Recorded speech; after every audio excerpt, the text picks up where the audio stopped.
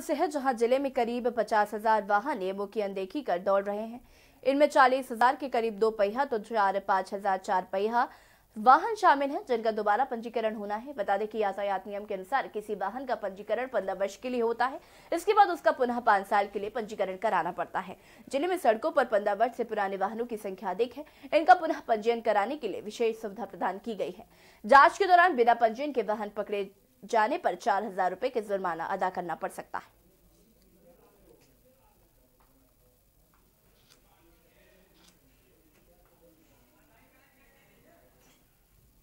ऐसा ना कि कोई भी गाड़ी जब होती है, जिसका पंजीयन होता है, वो पंद्रह साल के लिए होता है। पंद्रह साल के बाद उसका पुनर्पंजीयन पाँच साल के लिए कराया जाता है।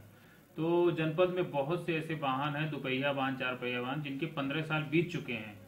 तो उनको पुनर्पंजीयन कराने की आवश्यकता है। अगर वो सड़क पे चेकिंग के दौरान पाए जाएँगे और पुनर्पंजीयन अगर उन्होंने नहीं कराया होगा तो उसमें प्रवर्तन अधिकारी जो है, वो चार हज़ार रुपये की फाइन जो है, लगा के उनका चालान काटेगा। तो मेरा आपके माध्यम से जनपद के समस्त ऐसे वाहन स्वामी, जिनके वाहन पंद्रह साल पुराने हो चुके हैं, मैं अनुरोध करूँगा कि कार्य सरकार